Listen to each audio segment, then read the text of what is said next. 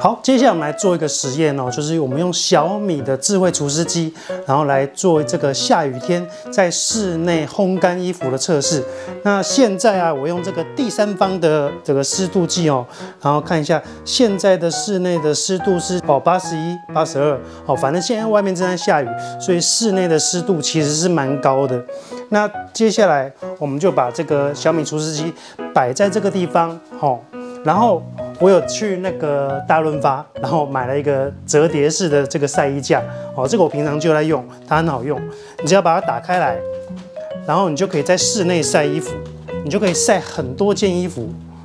我这个真的是非常推荐。好，那在开始之前呢，我已经把这个除湿机的这个水箱哦，把它全部倒干，现在里面是完全没有水的。好，现在完全是没有水的。好，现在时间是五点二十一，那等一下我们就直接开一个小时，然后目前的水箱是的水是完全空的，然后我们来看一个小时之后室内的湿度会变得什么样，然后以及衣服的干湿程度，还有水箱到底会积了多少水。OK，让我们开始吧。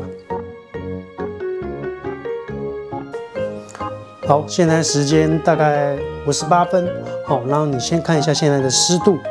已经掉到六十三，刚刚开始的时候大概是八十到七十八左右，哦，那现在是六十三，好，那我们就继续让它再烤半小时，半小时之后我们再来看一下它的湿度变得怎么样。好，现在时间是六点半，那时间已经过了一个小时，那我这边一样是干衣模式，它显示的室内湿度是五十九，那这个第三方的湿度啊是四十五，好，那我手摸这个衣服啊。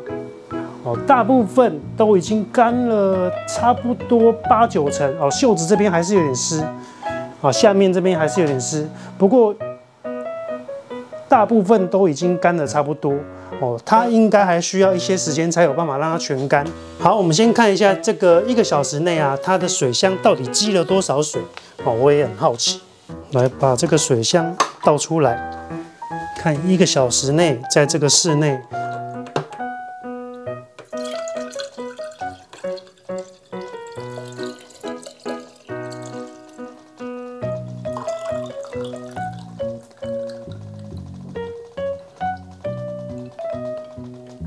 很多哎，一个小时内这样就满满一罐了。哦，这个一个小时，它就这样吸了一罐，这样很多哎。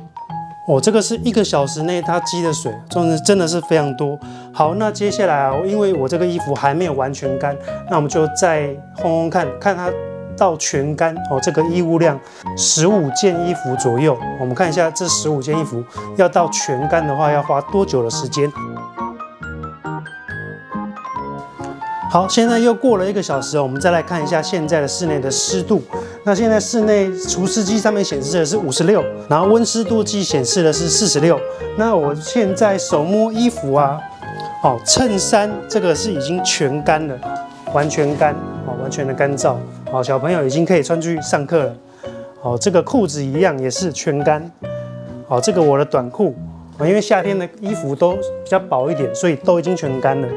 T 恤棉 T，棉 T 缝线这个地方还是有点湿哦，因为它比较靠后排。再让它晾一下。好，这个也是棉的，都会比较湿一点。好，这个就全干了，全干就拿起来。好，这个也还是有点湿。那我预估啦，让在三个小时内就有办法让衣服全干。好，这个是关于小米除湿机啊，在下雨天室内晒衣服的这个测试啊。那我总结一下，如果你要在室内晒衣服的话，你要开到干衣模式，然后把门窗全部关起来，然后用这个室内的晒衣架，那尽量把衣服放在这个风口处。干燥时间的话，就看衣服的厚薄度。如果是像这种衬衫哦，真的是一个多小时，它应该就会全干。那如果是比较厚一点的棉 T，那你就要做两个小时以上。哦，那如果是外套的话，你大概就要一整晚才会干。好，以上就是小米除湿机的干燥设施。